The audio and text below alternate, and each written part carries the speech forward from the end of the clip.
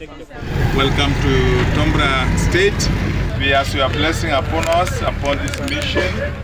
There are so many children attending this school.